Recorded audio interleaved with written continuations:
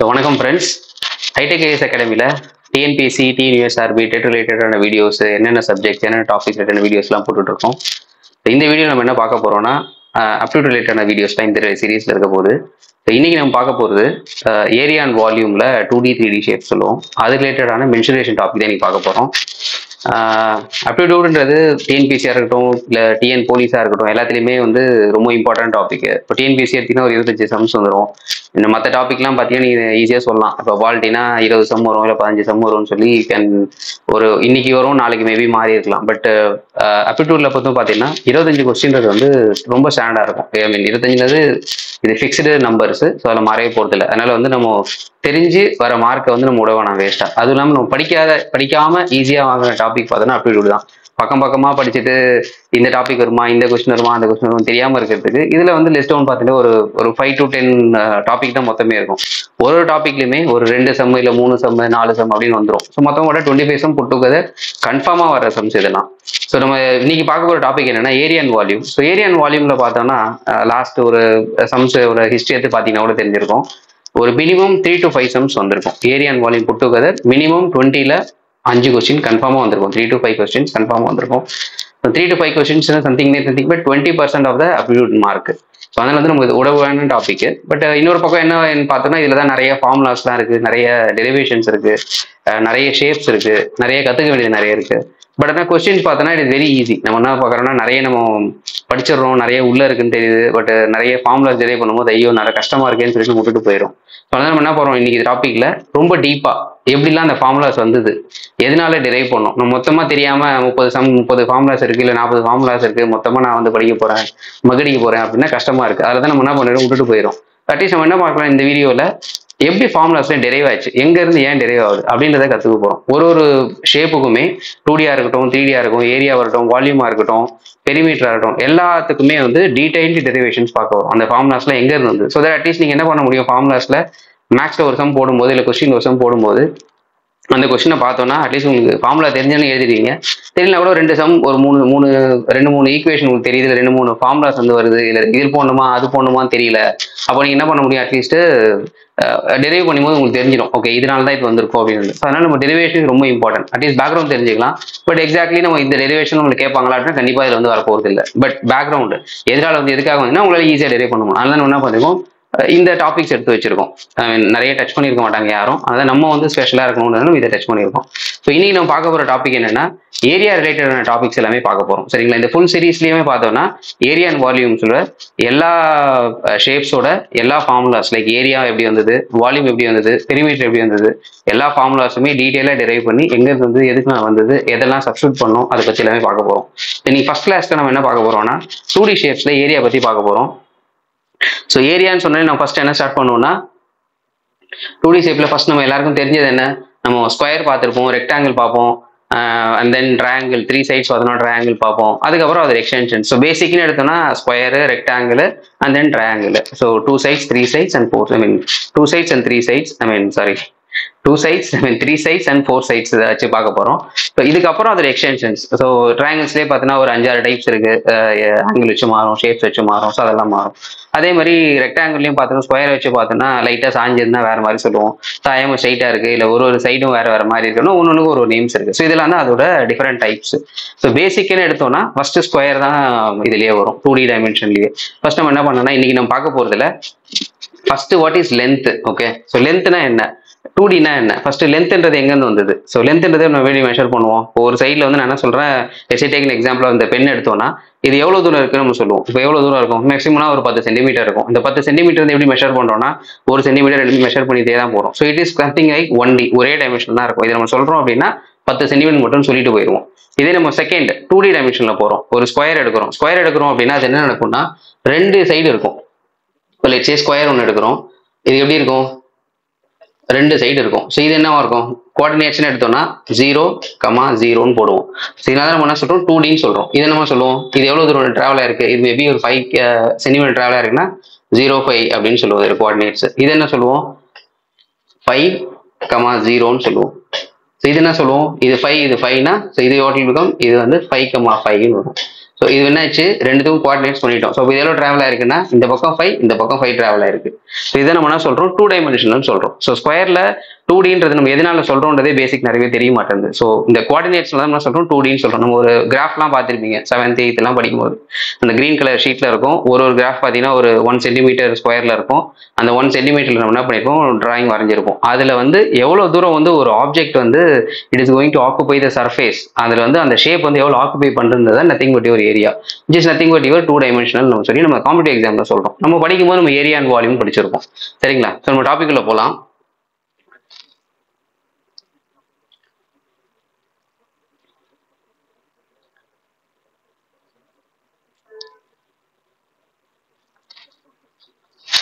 So first topic area so area வந்து எப்படி நம்ம லென்த் எப்படி மெஷர் பண்ணோன்றதும் பெண்ணை பார்த்தோம். பெண் வந்து எப்படி சொல்றோம்? ஒரே லென்த் தான் இருக்கும். ஜீரோலேருந்து ஒரு அஞ்சு சென்டிமீட்டர் போயிருக்கு இல்லை பத்து சென்டிமீட்டர் போயிருக்கு அப்படின்னா தென் டிபெண்டிங் அந்த சைஸ்ல வந்து சென்டிமீட்டர் சொல்லுவோம். சரி நான் இல்லை நான் முதல் டிராவல் பண்ணியிருக்கேன். நான் வந்து சென்னையில் வந்து ஒரு நார்த் சென்னையில் இருக்கேன். அங்கேருந்து சவுத் சென்னை போகணும் அப்படின்னா maybe it's about twenty kilometres நம்ம என்ன சொல்லுவேன்? டுவெண்ட்டி கிலோமீட்டர் நான் ட்ராவல் பண்ணேன்னு சொல்ல போகிறேன் மேபி இட் மீனா பி டேரக்டா இருக்காது ஸ்ட்ரைட் ஆங்கிள் இருக்காது. சுற்றி சுற்றி போவோம். பட் என்னோட ட்ராவல் என்ன? It is on one dimension தான். டுவெண்ட்டி கிலோமீட்டர்ஸ் போயிருக்கேன்னு சொல்ல போகிறேன் ஸோ லென்த்தில் அது சொல்கிறது இது நம்ம ஏரியாவில் சொல்கிறோம் டூ டைமென்ஷன் சொல்கிறோம் அப்படின்னு என்ன சொல்லுவோம்? ஒரு ஏரியா இருக்கும். ஒரு ஸ்கொயரோ ரெக்டாங்கிளோ இல்லை வந்து ஒரு ட்ரையாங்கிளோ இருக்கும். அது உள்ளே எவ்வளோ தூரம் ஆக்குபை பண்ண முடியும்? இல்லை எது வந்து how many many it can accommodate எவ்வளோ அதால் கொள்ளளவு பிடிக்கும்? அப்படின்றத நம்ம என்ன சொல்ல போகிறோம்னா ஏரியான்னு சொல்கிறோம் இல்லை சே இந்த ஒரு எக்ஸாம்பிள் எடுத்தோம் அப்படின்னா எப்படி நம்ம ஏரியான்னு சொல்கிற போகிறோம் அப்படின்னா ஒரு எக்ஸாம்பிள் எனக்கு ஆடிட்டோரியம் எடுத்திருக்கு. ஆடிட்டோரியமில் எத்தனை பேர் உட்கார முடியும்னு ஒரு எக்ஸாம்பிள் எடுத்தால் ஃபஸ்ட்டு நீங்கள் என்ன பண்ணுவீங்க? கவுண்ட் பண்ணுவோம் சேர்ஸ் லெட்ஸே இதில் கவுண்ட் பண்ணினா ஒன்று ரெண்டு மூணு நாலு அஞ்சு ஆறு ஏழு எட்டு ஒம்பது சேர் இருக்கு. ஒம்பது சேர்ல நீங்க ஃபுல்லா கம்ப்ளீட் பண்ண பண்ணுவீங்க? ஃபர்ஸ்ட் இந்த லைனை கவுண்ட் பண்ணுவீங்க. கரெக்டா இந்த லைன் கவுண்ட் பண்ணீங்கன்னா ஒம்பது சேர் திருப்பி திருப்பி இங்கேருந்து பத்து பன்னெண்டு பன்னெண்டு போனீங்கன்னா எயிட்டீன் சேர்ஸ் இது வரைக்கும் கவுண்ட் பண்ணும்போது. தென் இதுல டுவெண்ட்டி செவன் வரும் கரெக்டா அடுத்தது தேர்ட்டி சிக்ஸ் இப்படியே போயிட்டே இருக்கும். ஸோ முப்பத்தி அறுபது போயிட்டே இருக்கும். இப்போ என்ன பண்ணணும் நீங்கள் கவுண்ட் பண்ணணும் எத்தனை பேர் அகாமடேட் பண்ணணும்னா லைன் பை லைன் போகணும். ஒம்பது பத்து பன்னெண்டு பன்னெண்டு பத்தி போகணும். இங்கே பன்னெண்டு முடிஞ்சிடும். திருப்பி பத்தொம்போது இருபது இருபது இருபத்தொன்னு இருந்து போயிட்டே இருக்கும். ஸோ இது கஷ்டமா இருக்கும் கனெக்ட் பண்ணுது அப்போ நம்ம நார்மலாக என்ன பண்ணுவோம் அப்படின்னா ஒரு ரோல எத்தனை இருக்குன்னு கவுண்ட் பண்ணி தனியா வச்சுப்போம். இதுல நைன் இருக்குன்னு வச்சுப்போம். தென் காலம்ல எத்தனை இருக்குன்னு பார்ப்போம். ஒன்று ரெண்டு மூணு நாலு அஞ்சு ஆறு ஏழு எட்டு ஒன்பது பத்து பதினொன்று பன்னெண்டு பதிமூணு இருக்கு. கரெக்டா ஸோ பதிமூணு ரோஸ் இருக்கு. ஸோ எத்தனை இருக்கு? ஒரு ரோல நைன் சேர்ஸ் இருக்கு. தென் எத்தனை ரோஸ் இருக்கு? பதிமூணு ரோஸ் இருக்கு. ஸோ டோட்டலாக எத்தனை அக்காமடேட் பண்ணோம் பதிமூணு இன்ட்டு ஒம்போதுன்னு போடுறோம். ஸோ பதிமூணு எவ்வளோ நூற்றி முப்பது நூற்றி பதினேழு வரும். கரெக்டுங்களா இத்தனை பேர் அகாமடேட் பண்ண முடியும். ஸோ இதை நம்ம வந்து இன்னொரு ஆங்கிளில் நம்ம விஷயம் சொல்றோம். ஏரியாவில் சொல்றோம். ரெண்டுத்தையும் மல்டிப்ளை பண்ணோம்னா ஏரியான்னு இதை நம்ம என்ன பண்ணுறோம் அப்படியே ஜஸ்ட் எக்ஸ்டெண்ட் பண்ணீங்கன்னா ஏரியாவில் எப்படி மெஷர் பண்ண முடியும்? ஏரியாவில் ஒன் டூ த்ரீ இதே தான் அந்த எக்ஸாம்பிள் கார்டு தான் நம்பர்ஸ்ல காமிச்சிருக்கேன். இன்னும் கவுண்ட் பண்ணும்போது கவுண்ட் பண்ணிட்டு உள்ளே போவீங்க. திருப்பி கவுண்ட் பண்ணி வெளில வரீங்க இதுக்கு பதிலாக நம்ம என்ன பண்ண போகிறோம்னா இந்த ஃபைவை மட்டும் ஃபஸ்ட்டு கவுண்ட் பண்ணிக்க போகிறோம் தென் காலம்ஸில் எவ்வளோ இருக்குன்னு கவுண்ட் பண்ண போகிறோம் இந்த ஃபைவ் இன்ட்டு ஃபைவ் போட்டிங்கன்னா டேரெக்டாக டுவெண்ட்டி ஃபைவ் வந்துடும் ஸோ உங்களுக்கே தெரிஞ்சிருக்கும். Multiplication nothing but repeated addition இந்த மாதிரி ரிப்பீட்டட் ஆட் பண்ணுறதுக்கு பதிலாக டேரெக்டாக மல்டிப்ளை பண்ணும்போது தான் ஏரியான்னு சொல்ல போகிறோம் கரெக்ட்டுங்களா இது ஜஸ்ட் எக்ஸ்டென்ஷன் எப்படி நம்ம ஏரியாவுக்கு கொஞ்சம் புரிஞ்சுக்க போறோன்றதுக்கான ஒரு ஸ்லைடு மட்டும் தான் நம்ம நெக்ஸ்ட்டு ஷேப்ஸ்குள்ளே போகலாம்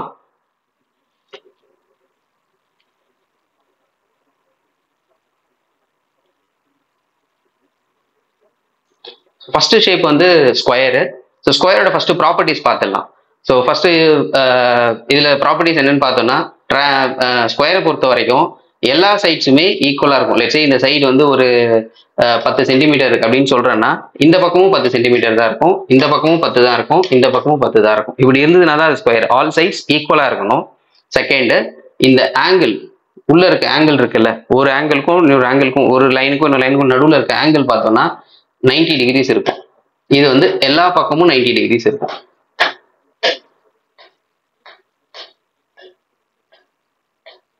செகண்ட் ப்ராப்பர்ட்டி ஸோ ஸ்கொயரை பொறுத்த வரைக்கும் ஃபர்ஸ்ட் நான் சொன்னோம் நாலு சைடு இருக்கணும். நாலு சைடுமே ஈக்குவல் லென்த் இருக்கணும். ஒரு ஒரு ஆங்கிளும் உள்ள இன்டீரியர் ஆங்கிள் ஒரு ஒரு ஆங்கிளுமே இன்சைட் ஆங்கிள்ஸ் எல்லாமே என்ன இருக்கணும்? 90 டிகிரிஸ் இருக்கணும். ஸோ ஒன்று நைன்டி டிகிரினா நாலு பக்கம் இருக்கு. நாலு பக்கம் வந்து டோட்டல் எத்தனை வரும்.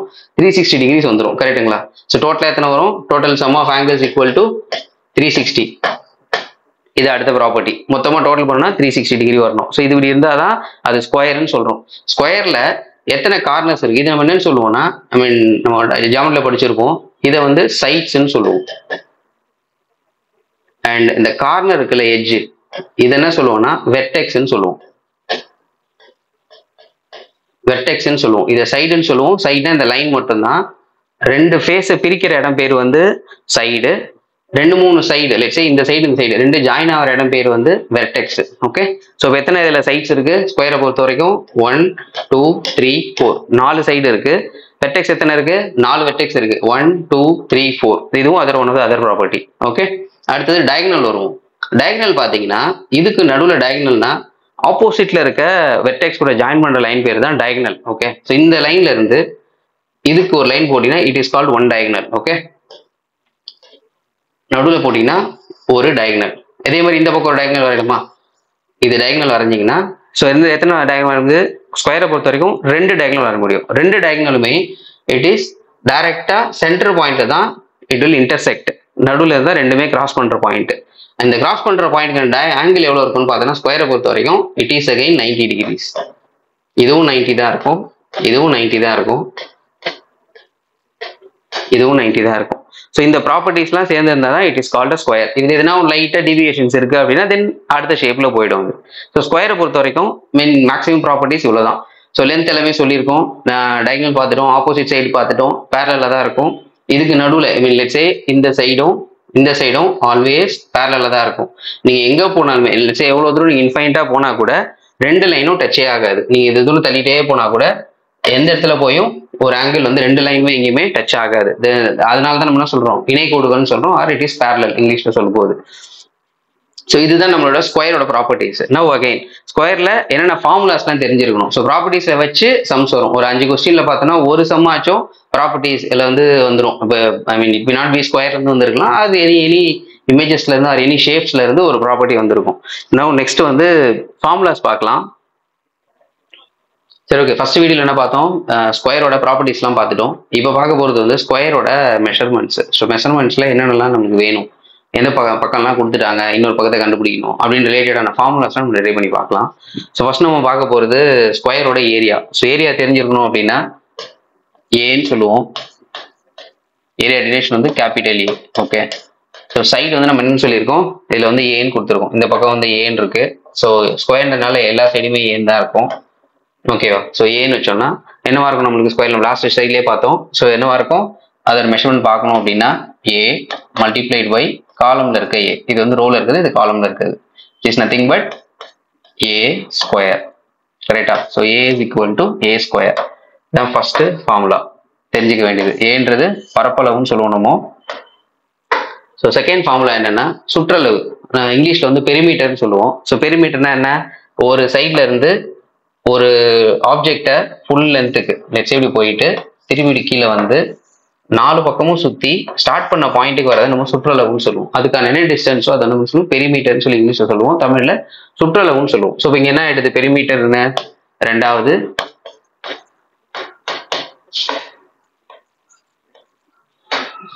perimeter capital P equal to நாலு சைடு ஆட் பண்ணோம் ஸோ நாலு சைடு ஆட் பண்ணோம்னா எஸ்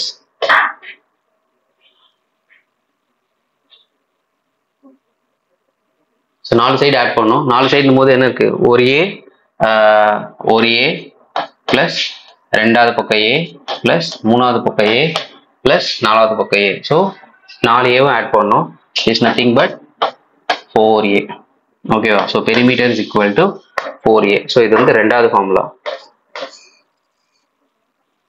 ஸோ அடுத்த ஃபார்மில் என்ன தெரிஞ்சிருக்கணும்? டயக்னல் சம்டைம்ஸ் வந்து டயக்னல் கேட்கலாம். ரெண்டு மூளைக்குமான எவ்வளோ தூரம் இருக்குன்னு சொல்லி டிஸ்டன்ஸ் கேட்டிருக்கலாம்.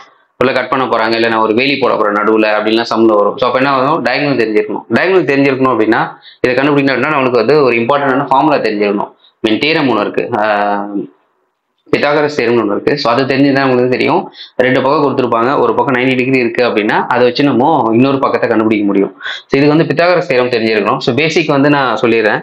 ஸோ பித்தாகரஸ் தேரோட பேசிக் என்னன்னா hypotenuse square H square is equal to opposite square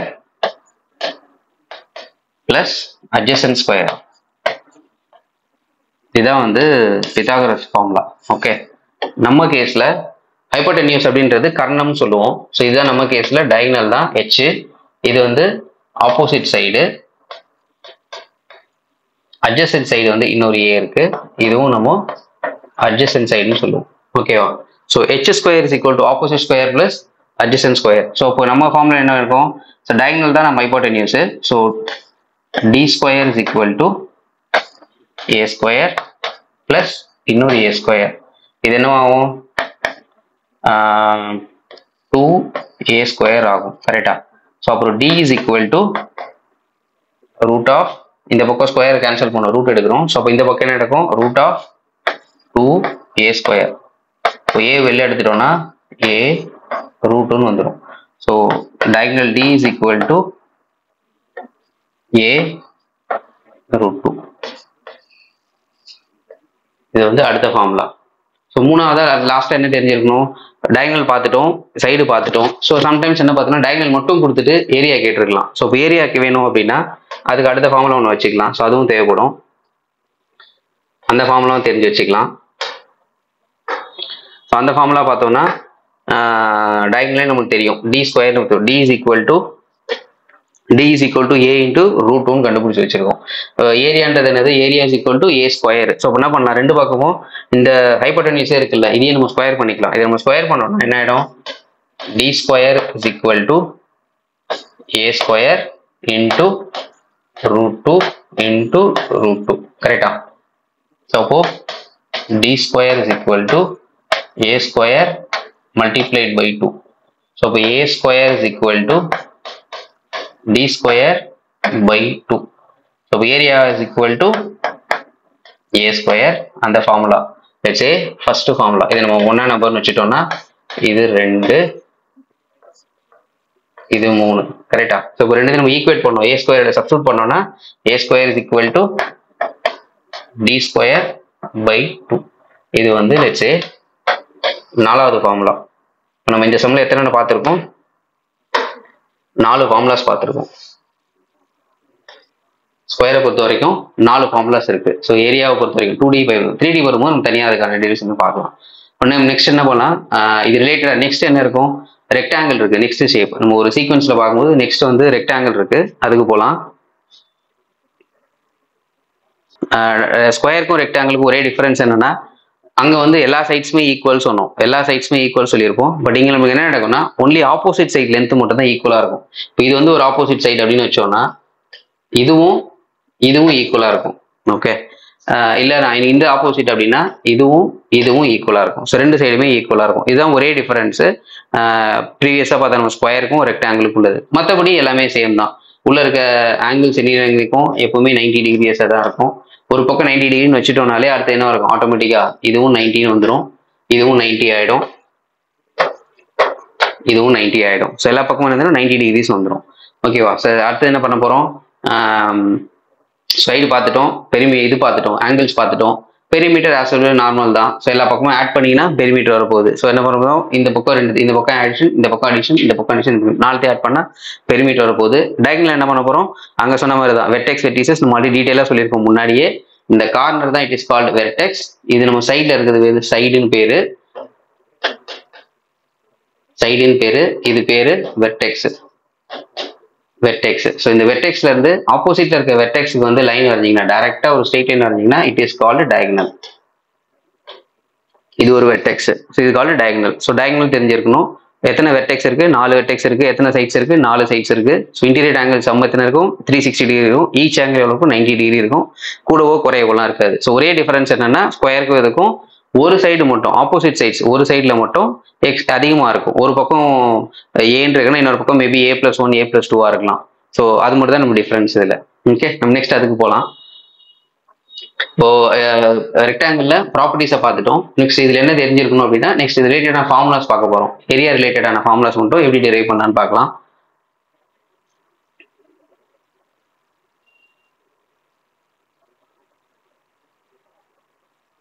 ஓகேவா ஸோ இதுக்கு ஐ மீன் நீங்களே சொல்லிடலாம் ஈஸியாக சொல்லிடலாம். ஃபர்ஸ்ட் ஏரியான்னு வரும்போது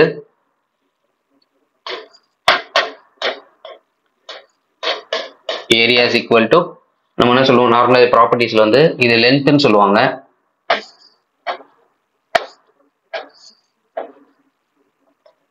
இதை வந்து லென்த்துன்னு சொல்லுவோம். இதை வந்து பீன்னு சொல்லுவோம். பிரெத்துன்னு சொல்லுவோம்.